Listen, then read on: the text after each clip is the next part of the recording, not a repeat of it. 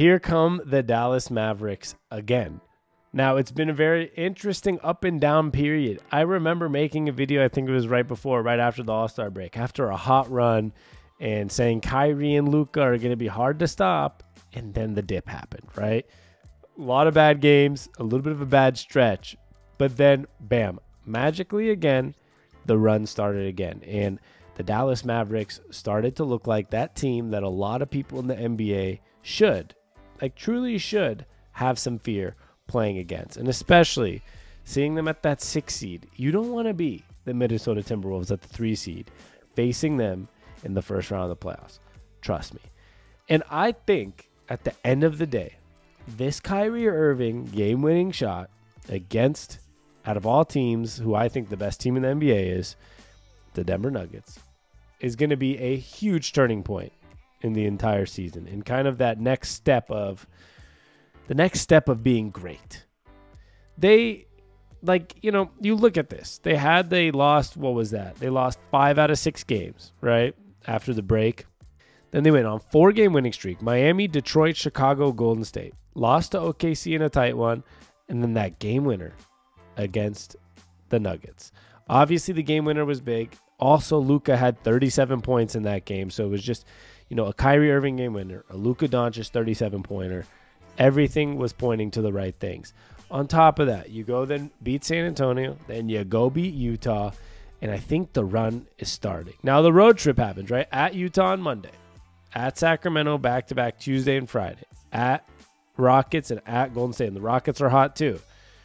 But if you can win four out of five of those, all of a sudden you're going to be looking at a Dallas Mavericks team that has already moved back into out of the playoff game into that six seed, but they're only three games behind the four seed in the Clippers. Win four out of five, and I bet you, because the Clippers are starting to play a little worse. The Pelicans right above them at the five seed. Brandon Ingram just got hurt. Now it's nothing that's going to keep him out, but you know he got a little banged up. The Mavericks are going to start making their way towards potentially getting closer and closer to around that four seed, and that's when things start to get exciting. I think with Kyrie and Luka, it's going to be a hard team to stop. Like I said, you look at that game against the Denver Nuggets. Not only did Jokic, he always has a good game, right? But 16, 11, and 7. They held Jokic to 16 points. That is a good sign for your basketball team. And, you know, the the Dereck Lively and the ability to have him and somebody like Gafford and a lot of good big play recently, young good big play, has been a big deal for the team. And you look at a game like that against the Nuggets 24 points, seven rebounds, and nine assists for Kyrie Irving with the game winner, and 37 points, 10 rebounds, and three assists for Luka Doncic. That's going to be a hard team to stop. A real hard team to stop if those things are clicking, especially with the role players like Lively, 14 points, eight rebounds. And you look at, you know, we'll get to what Gafford did against the Jazz. These things are very important. And then you go to the Jazz, the last game the Mavs played. PJ Washington, a normal game of six points and, you know, five uh, rebounds. Uh, Derrick Jones Jr., 12 points, four rebounds. Cool. And then you get to this. Like I said, some young, some good big man play. Gafford was 10 for 11 with 24 points and seven rebounds. Kyrie, 16 points, seven assists, five rebounds. And Luka Doncic, 34 points, nine rebounds, and eight assists. And then one of the biggest things I've noticed here, the biggest thing I've noticed with this team in general is the way Kyrie's been playing so unselfishly. Now, I'm a big Luka Doncic fan. I'm not calling him selfish. I think he plays basketball the best way that fits for his style.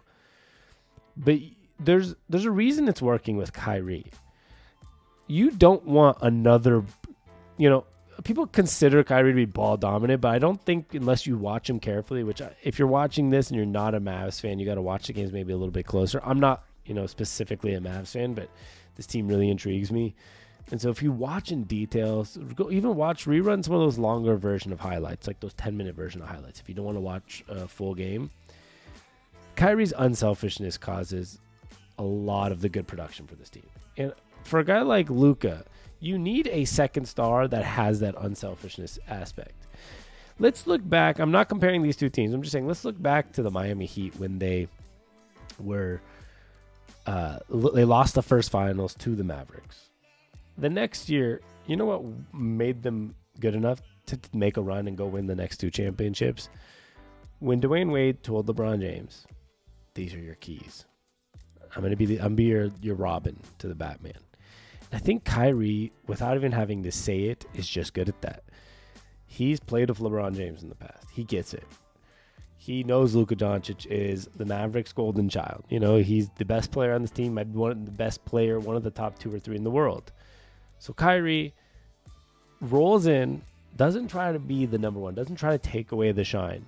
He just let it flow into being, I'm going to be the most unselfish number two and only be selfish when I need to and do whatever's best for this team and for Luka Doncic. And it works perfect.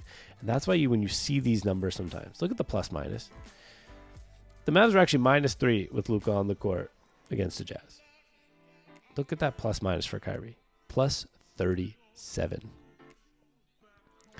37 point swing having him on the court. That tells you a little something. His unselfishness, his ability to score when he needs to, pass when he needs to, make the right plays when he needs to, throw up a nice lob, get the offense moving in a different way, whatever it is he needs to do. That's what Kyrie does. So don't sleep on this Mavericks team. And don't sleep on Kyrie and Luka. I mean, 25 points, five assists, five rebounds, 50% shooting, pretty much 49 to be exact. For Kyrie with Luka, 34.1, nine rebounds, 9.8 assists. When you're number one guys, first in the NBA in scoring, 17th in rebounding, and we're talking about like a, a three here, right? Luka's like a three. Maybe he's pretty, yeah, like a small forward. And top three in assists at 9.8. And then you have your number two guy being 25, 5 and 5 it makes it hard to stop him. And I think another big piece I mentioned already was Daniel Gafford. I mean, 25 years old. He's young, important big have on a team. Averaging 11 points, 8 rebounds. And, you know, you look at a game like against the uh, Nuggets, when him and Lively, right? 24 minutes and 23 minutes. Pretty much split down the middle. You see a guy like Jokic, 6 for 16 with 16 points you'll live with that. And if that happens in the playoffs or sometime, you'll be fine with it too. I think the Mavs are going to move up to the four seed sooner than later, and I can't wait to see what else comes out of this team. Knock on wood.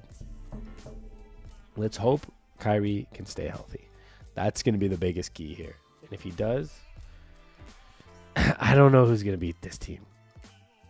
I think it's going to be a very high chance that this team goes really deep in the playoffs. I'm excited. And I can't wait to watch.